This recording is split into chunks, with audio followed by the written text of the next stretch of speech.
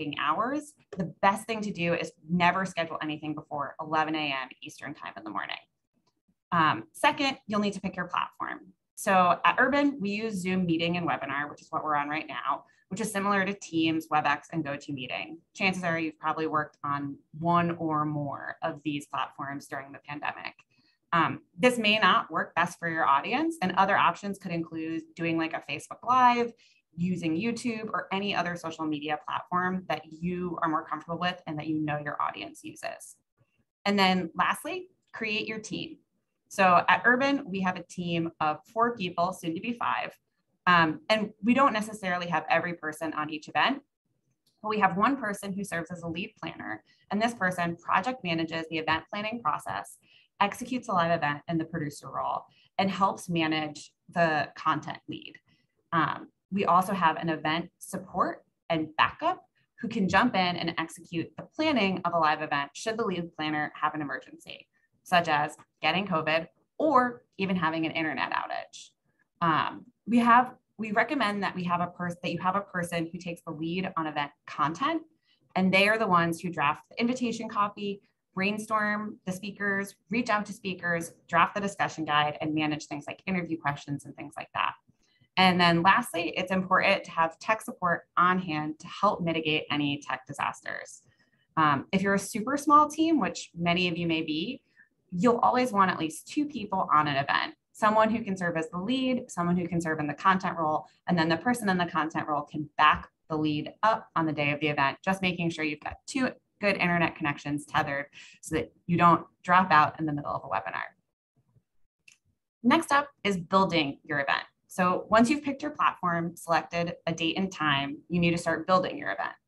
The first step is identifying and inviting your speakers. So start with brainstorming the perspectives you're going to want to include, and then create a short list of speakers that you think could speak to each perspective. Once you've created that list, look at your potential speakers. Do they represent diverse backgrounds and ideas? Will they engage your audience? Will your audience see themselves in the speakers? Consider all of these questions and then refine your speaker ideas accordingly. Once you have that refined shortlist, invite your speakers. Be sure to send a calendar invitation to hold the date and time for the event and attach any pre-event prep needed along with any relevant links. So everything is in one place for your speakers. Next, you're gonna to want to draft your invitation copy. With your speakers confirmed, draft a short four to five sentence invitation that will tell your audience what the event is about, what you hope they will get out of coming to the event, who is speaking, how to register, and where to go with questions. Try to keep this as short and as sweet as possible, using plain language and keeping hyperlinks to a minimum so people are mostly clicking that register here button. Um, you'll want to set up your registration. And at Urban, we use registration forms as a way to gather more information about who our most engaged audience is. We ask for first and last name, job title, organization, as well as location, state, and zip code to help us learn where our most engaged audience members live and work. We also always include language about accessibility. So we include a line that says, we strive to host inclusive, accessible events that enable all individuals, including individuals with disabilities, to engage fully. Please email events at urban.org if you require any accommodations or have any questions about this event. This will help surface additional needs and make sure that your event is meeting the needs of your audience. Um, and also, as you know, we're using here today, we're using Spanish language translation. If you're using Zoomer Teams, there should be an option with paid accounts to use live captioning. These are AI auto-generated captions, but they can help nonetheless. Um, and then lastly, as you're building your event, you're gonna draft a run of show. This document is used to craft the agenda for the event and give every person involved in the planning side the exact information about what will happen and when. The run of show should include who's logging on to start the event and the account the event is on, when the speakers are logging on and any technical direction the speakers require, technical or AV cues as such as when to start start the webinar, start recording, who is speaking, how long they are speaking for, and whether that person has slides, and then who is responsible for things like moving people to breakout rooms, keeping time and making decisions about timing if things go off schedule, who is backing up the event lead, and who is the responsible for handling any tech questions or audience Q&A. Um, this should be shared internally and can be used to then inform the public agenda. And um, we created a run of show for this meeting, and we'll share that as a template for you if you're interested in seeing how we do things here at Urban. So once you've built the event out, you need to promote your event. So it's important to get your audience signed up. So you'll take your invitation copy and put it into a direct email, an email marketing system, a newsletter, or any other tool that you use to share with your audience. Ideally, this happens about four weeks before the event, at least at Urban. That's our goal. Um, it doesn't always go that way, but that'll give you plenty of time to get people signed up and registered and give you opportunities to send follow up emails without spamming people too much. So, we generally recommend sending the invitation about once per week with a tune in today message the day of the event to remind folks that it's happening. If you're using a Zoom webinar or WebEx or something like that, those platforms also have reminder emails. So you'll just want to make sure you coordinate with those so you're not double dosing people with, don't forget this event is happening today in one hour, in 24 hours, things like that. Um, be sure to share the invitation that you share with the public, with your speakers, and ask the content leads to share that with their audiences. Um, and if you have a strong social media presence using platforms like Twitter, Facebook, LinkedIn, Instagram, and even TikTok, can help drive traffic to your event. Next up is preparing for your event. So preparation is key. We were talking about this before you all signed on, but in the virtual world, I think a lot of people wait until just the moment that their computer tells them that they're going to a meeting um, and show up and may not be the most prepared. Um, so we at Urban have found that having a couple of dedicated times for people to think about their event it, and their participation in an event really helps make things run smoother. Um, so we include two things. First, a prep call with speakers in advance of the event to review the goal and the discussion questions. This usually gives everyone the opportunity to sort of talk a little bit about what they're going to say and make sure that not every person is saying the same exact thing and that different perspectives are being represented.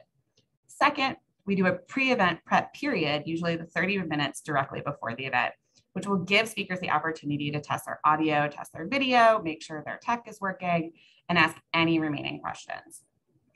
In addition to these prep periods, we request slides and videos in advance so you can we can download and test them. And then especially if this is your first virtual event, doing an internal test run with yourself and your staff members, making sure you're comfortable starting the webinar, managing things like chat and Q&A. If you're trying new things like spotlighting or breakouts, it's important to practice with your colleagues to make sure that that runs as smooth as possible um, on the day of the event. And then lastly, once you are all prepared, you host the event. So we recommend that the main host log on and test your setup about an hour in advance. If you can, plug into Ethernet to make sure your connection's secured. As each speaker comes on, test each speaker's audio and video. Use a separate computer like I'm doing today to share your slides. Make sure that computer doesn't have things like Slack, Teams, Outlook, um, and all that kind of stuff up so you're not getting pop-ups on your screen. Um, you'll want to check the settings for chat, raise hands, Q&A, accessibility options, make sure they're, they're set at what you would like them to be set at. And then if you're trying to record, make sure that automatic recording is on. And then you start the webinar. Once the webinar is started, your speakers will hopefully be able to deliver their message to the audience. And on the back end, you just make sure that you're there to answer any questions, make sure you're monitoring chat and Q&A, you're advancing slides, be ready to solve any uh, tech issues on the fly, and when the conversation is over, make sure to close the event quickly so that no one has a hot mic situation. And then once you've done that, you've completed successfully hosting your event. Um, and this wraps up my presentation. I hope it was helpful and I look forward to answering your questions about planning after the panel conversation. Thanks so much, Alana. And full disclosure, um, we did not do a handful of those for today. Um, and so we will be building them into um, our future events. So thanks so much. Um, right now, I am going to, um, we're gonna uh, get started on our uh, on our uh, discussion panel here with some of our P4VE members. Um, I have added them to the spotlights, and so let's start out. Um, give me one second. Okay. So to start out, um, let's go with our first question. Um, so over the past two years, um, what are some of your lessons learned for planning and running virtual events? We can start with Adjoa. Absolutely. And I apologize if you hear a lawnmower. They just wanted to start landscaping. Um, but I would say some of our lessons learned, or in my one favorite in particular, would be how important excuse me, how important pre-production meetings are. I think sometimes people underestimate the value of a good run through um, and just sitting down with your team and going through every single part of the event. So from start to finish, also making sure that all your materials and guests are prepared. I think those are some of the most important things and some of the biggest lessons that I've learned. Also, as well as being able to be ready to pivot and to be flexible. Um, I think like Alana said, sometimes, you know, the internet things can happen, right? So just being ready. Um, maybe someone doesn't show up on time, someone has the wrong link, someone has the wrong slide deck. It's okay. It's not the end of the world. Um, but being, just being able to be ready to pivot from those things. Perfect. Uh, Darshana, do you want to go ahead? Same question. Past two years, main things you've learned.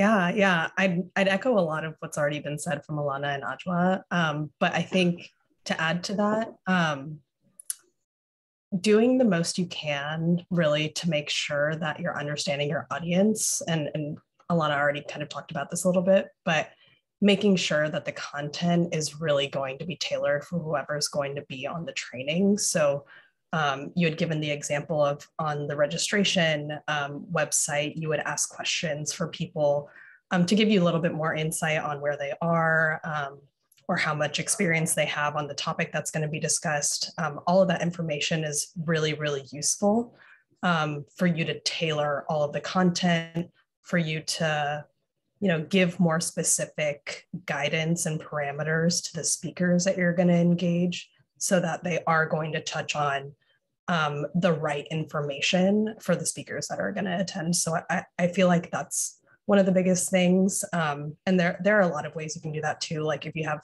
um, resources to send out a survey beforehand, if you know who's going to be in attendance, that's also really helpful. Um, but I think that's one of the biggest things is just making sure that your speakers know who the audience is going to be, making sure to to really brief them on that um, so they feel confident on who they're speaking to. Absolutely. Um, I just, I mean, it, it, often, a lot of our events, it kind of works out really well since we have our built-in community here and we're able to, I mean, I think a lot of our events, we draw on our own um, expertise from within the community. And so we're all talking to each other about it. And I think that, that actually helps working out really well. Um, and then thinking about a virtual event that went well. So like in the past, so like what pre-work or pre-event work like helped ensure that that happened? We'll start with Darshana this time. Yeah, yeah, I can jump in. Um, I would say something, an exercise that I like to take myself through is, you know, usually we'll have some type of like larger, broader topic in mind um, of wanting to do a training.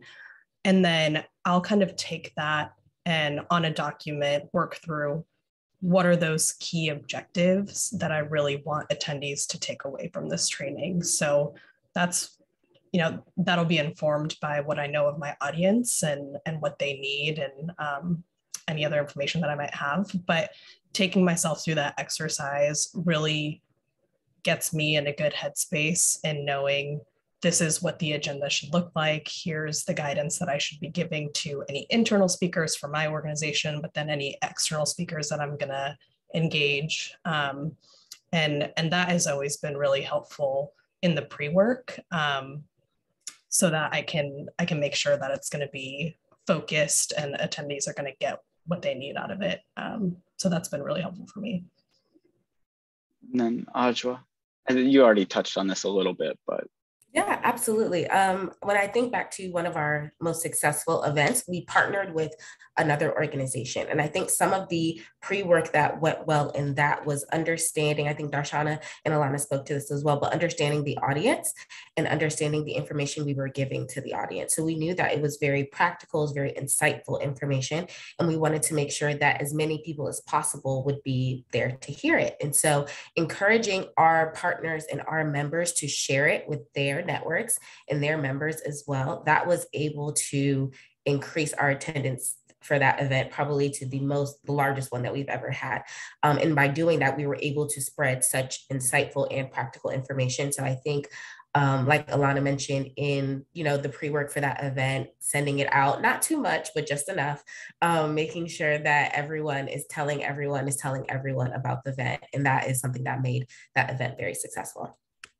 Yeah, I'm, I'm actually going to build off of that um, because I, I, think that an event actually that I worked on with Darshana actually was one of the best that we've ever done. Um, where we had, and I think that that aspect, I they had P, we had PGP sending out um, promotional information, and we had our own within the community, and I think we were able to to really like get it out far and wide um, I think for that particular event, that was very, very well attended. Um, as far as our social media series, if uh, you want to check it out, it's on the website. Just as a nice little plug there.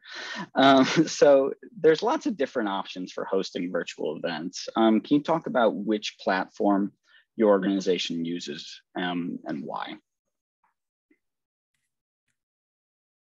Go ahead. So, as an organization, we prefer to use Zoom and not necessarily Zoom webinar, but Zoom meeting. So um, I think sometimes on Zoom webinar, the participants, they do not have the opportunity to be as engaged as one would like, right? They're very limited in what they can do um, and what they can say our group and our audience they like to be very interactive and i think that goes into also knowing your audience and know who you're speaking to. So they like to be very interactive they like to see each other. Um, obviously you have to do your work on the back end making sure that is controlled in a way but i think it is very beneficial um, having our participants being able to interact with each other interact with us. If they have questions they can ask them as opposed to just typing them in the webinar or in the chat portion excuse me. Um, and that that turns out make having it being a really successful people have the opportunity to share on things that they're doing and everyone likes hearing from each other. So that's why we particularly stick to the zoom meeting as opposed to the zoom webinar. Got it. I mean i know that we weigh that like this is happens to be a zoom meeting through zoom webinar but um darshana do you want to uh, go ahead yeah, um, I, I agree with all the points that Adjoa just made. Um, we also use Zoom um, for a lot of our, our trainings. Um, it depends on the type of training, whether we use Zoom webinar, Zoom meeting. I think for a smaller, more intimate conversation, we definitely go the Zoom meeting route. Um, but for more, that's more, it's going to be more of like a, a longer presentation in the upfront of the hour. Um, we do like a webinar format where people would be muted um, and then allowing them to unmute themselves later on during like the Q&A portion. Um, so that's what we use. I, I have used um, WebEx events before. Um, I know that platform has maybe been you know more updated in the last couple of years, but um, WebEx is also uh, a platform that's available to people. And then I think Google also has some some platforms too. But the I think the one important thing that I wanted to call out there was that um, if there are organizations holding trainings and and if you know that there are going to be attendees that have um, government emails are going to be um, attending from from the government um, i know that there is a zoom for government uh, uh, platform out there that um, is like an acceptable application um, for the government to use so that could also be something to consider because i know sometimes there are issues using just the regular zoom version um, if you have government folks on the call Perfect. Um, and then I know from our own perspective, we use we do use Zoom webinar and Zoom meetings. I mean, for us, one of the biggest differentiators between the two is the size of our anticipated audience. I know for um, we've been doing a series of workshops recently, workshops, trainings, more interactive events. And for those, we feel that, um, like Adjoa was saying, that a meeting is more personal. Um, people allowed to speak or not allowed to speak, but it's much easier for audience members to unmute themselves and speak if they want to ask questions. Um, but for the larger um, events, having the Q&A option um, in the bottom we found has been, especially for the person managing the chat and looking out for Q&A, um, I found that that is a, a really beneficial feature. Um, it, for the larger events because sometimes it's hard to keep track of chat things get lost in there especially when you have like 100 100 plus 200 people um, i did see a question pop up in my own chat which are how are registration links um, created to have invitees register? And that is a feature within zoom webinar that you can set up beforehand. And so you can uh, set up a few questions ask um, i know for ours we ask like are you a p4ve member? Are you funded? Um, we get your organization name and that way. Um, it's a useful feature for reporting metrics if you need to um, on any of your events. And then, so what are some things that haven't worked out um, quite well um, or as well as possible for some of the virtual events that you've that you all have managed? We could start with Darshana here. Sure.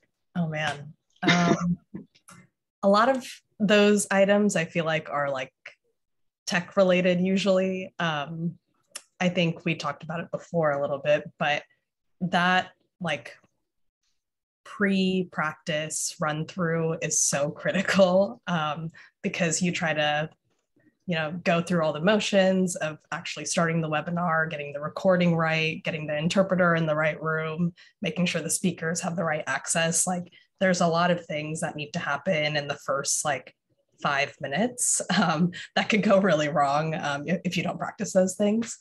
Um, so tech is, is, one of the pieces um, that's always kind of a toss up, but I feel like if you practice it with your team um, and with the speakers, then you're setting yourself up for success when you're actually doing the event. Um, in terms of other things that haven't worked well, I'd say that there there was a training one time that we had brought in three other organizations to speak on a one hour training and they were allotted about 10 minutes for their presentation and we were running a little bit behind. Um, so it kind of caused us to have to shorten people and cut people off a little bit because we were trying to be mindful of staying within the hour. Um, so i think the learning from that was really thinking through like within the time frame that you have how many speakers that you feel like would be feasible to have on the call and and giving them the, the appropriate time to really be able to tell their story and their experience um, instead of trying to fit in so many. Um, i think that that was the biggest takeaway from that training. Yeah i think Darshana, you made a great point about um, time um because how do you cut someone off in a nice way right? So i think that's something that we definitely all go through. Um people people like to share they like to talk and you want to make sure that everyone has enough time to do that. So that's something that can be a bit tough but i would say for us one thing that i have found to be a bit difficult, but it's getting better, is breakout rooms. Um, and breakout rooms on the back end can be great if you're putting everybody where they're supposed to be. Um, but you know, once you get into a larger meeting size, right, 100 plus 200, um, and you want to do these breakout rooms, great. Everybody can put choose their own room that they can go to. But sometimes someone could be joining off a phone or an iPad or some other device that is not a standard laptop and they can't necessarily find where they're supposed to go or how they get into that breakout room.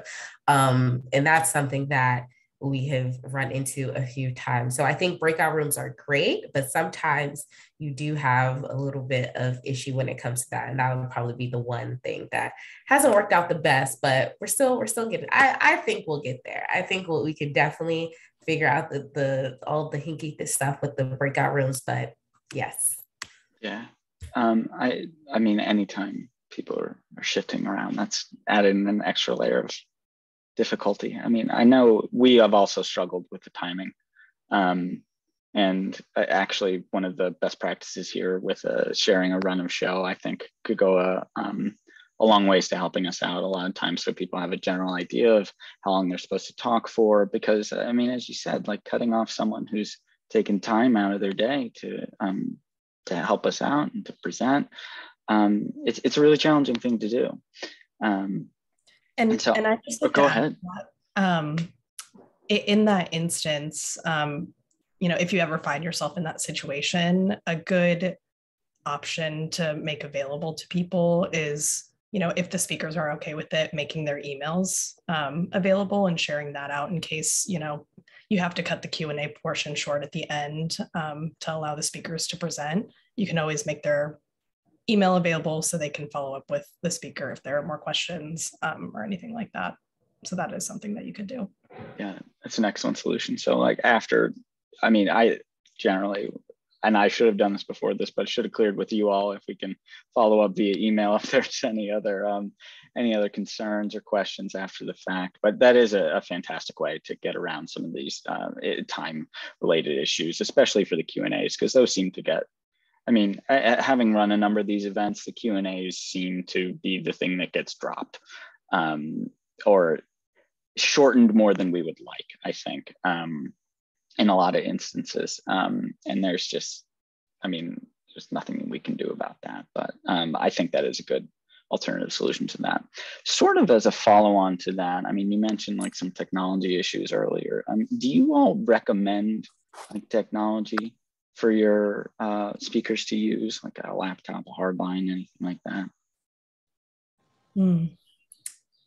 Um, so I do, I have my my work laptop and then I have like a second monitor. Um, and that is always really helpful because I'm usually playing the role of moderator on on the trainings that we hold. So, and, and I'm also you know looking at the Q and A and um, talking with my colleagues who are also on that are uh, doing other things or having other roles on the training. So I, I, do find it helpful to have the double screen. I know that's not always feasible. Um, sometimes, you know, because hey, I'll also put my notes on my phone in case I like can't look at my notes on my one screen. Um, so, so there are workarounds, or sometimes I'll print some things out, but um, the double screen helps. Um, in terms of other stuff, I'm not sure if there's anything else. I think that's plenty. yeah. Um, yeah, as far as tech, I think kind of like how Darshana said, it's not always feasible to have two screens. Um, but I know me usually doing stuff on the back end, I try, if there's a lot of materials that I know have to be presented. I have, I think we all have a lot of windows open anyway, all the time. Um, but I at least have one window specifically with all of the materials for this program or for that meeting or for that webinar, right? So I'm not going back and forth from, oh, I need to go here, oh, I need to go here. They're all in one place. They're usually in order of when they need to be presented, um, just so I don't have to scramble from back and forth. I'm clicking in order. Um, and usually I like to do the most of that stuff on the back end. So the speakers kind of just have to worry about speaking for the most part, right? So um, for them, hopefully it's just they show up, turn your camera on, and have a good day. I, I do know one thing actually that um, this happened to me actually yesterday is that um, our speaker was on he was on a, his computer and his laptop and he lost power um, for a uh, um, he was in the middle of a windstorm however he did have his cell phone as a backup ready to go. And so I think that is um, potential um, back or a, a, potential backup situation in case like your main like the speaker's main computer crashes like during the event which uh, technology issues happen. I think having like a secondary option available as alana said you can have two computers one for the slides one for your one for your zoom itself. Um, so then finally what are you thinking about as we move to planning hybrid events like maybe in the future we can have a little in person and then a video um, going on simultaneously. Um, what do you what do you think are the biggest challenges or opportunities um, for that? Um, I would say probably challenges with that would that is when more of a team would need to be involved. I know um, kind of we mentioned a lot of our groups could be smaller organizations, so you probably only have two to three people. Um, but I think once you start doing a hybrid event, you might have to then start looking into okay, who is going to be the team that's running the virtual portion, right? Because um, I think with that, you want to assure that all participants are remaining safe, whether it's in person, virtual, however, but you also want to maintain the quality of the experience.